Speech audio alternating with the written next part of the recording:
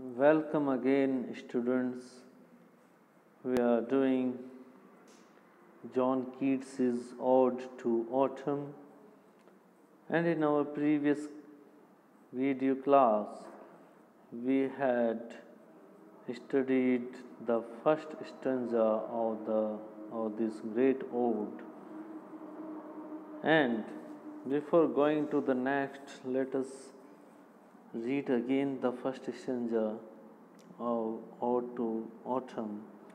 Season of mists and mellow fruitfulness, close bosom friend of the maturing sun, conspiring with him how to load and bless with fruit the vines that round the thatch eaves run.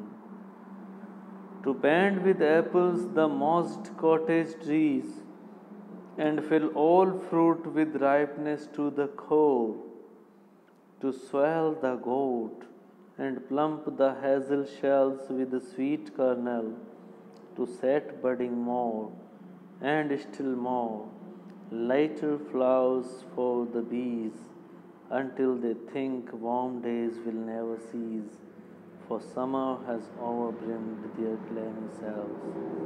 So, in the first stanza of this ode, we have seen that autumn is personified and addressed as the season of mists and mellow fruitfulness when all the fruits and flowers, fruits are ripened and flowers are blooming.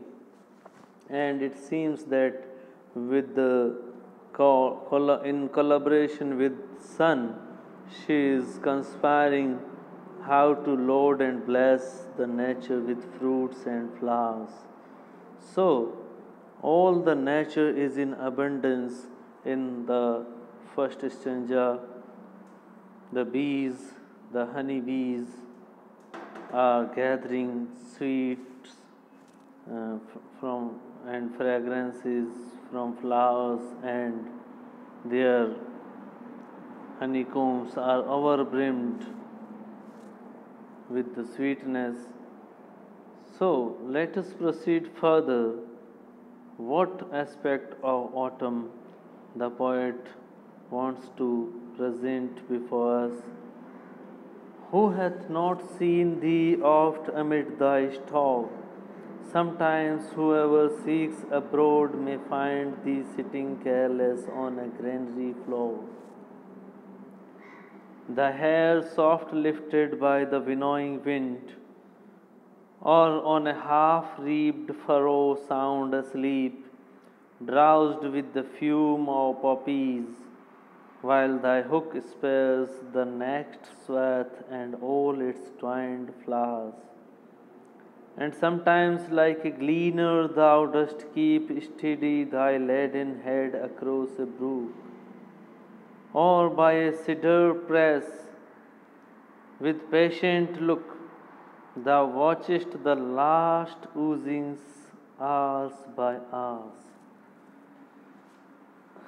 So, in this second stanza, the poet describes the occupations of autumn. And autumn is here personified as well as in the previous stanza. Here, autumn is personified as a winnower, as a reaper, and as a gleaner, and as a cider presser. Autumn is here seen as a woman who performs the tasks of winnowing, reaping, gleaning, and cider pressing. If anyone wants to see autumn, he may go into the fields and he will see the women engaged in the winnowing operations while the breeze ruffles their locks of hair. That's why he says, Who hath not seen thee? means she is always present amid the stores, the granary, granaries in the fields. So autumn is very much there in the fields as well. and can be seen there. And while the breeze ruffles their locks of hair, this is one picture of autumn. And secondly, we see autumn in the shape of a reaper. And she is reaping in the field who has been, and autumn has been engaged in reaping corn, but who in the course of her work is so overcome by the sleep inducing smell of poppies that she falls asleep, with the result that the next row of corn remains unreaped. Half reaped furrows, while she is as a reaper reaping the harvest.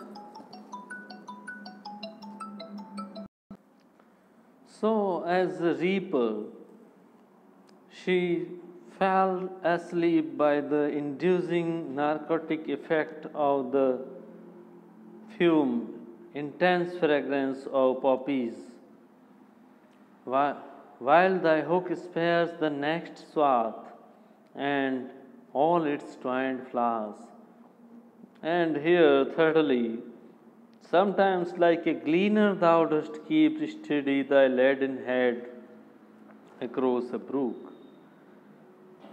Here, thirdly, autumn may be seen in the character of a gleaner who is walking along steadily with the weight of grains upon her head, crossing a stream, across a brook, and finally, or by a cider, cider press, with patient look, Thou watchest the last oozings hours by hours.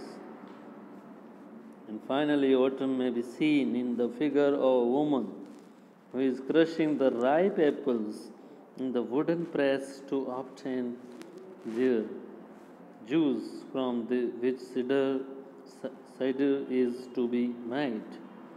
This woman sits by the cider press and watches patiently the apple juice flowing out of the press drop by drop. So, all these four images are very, this stanza is, is very picturesque and the images can be seen by our mind's eye.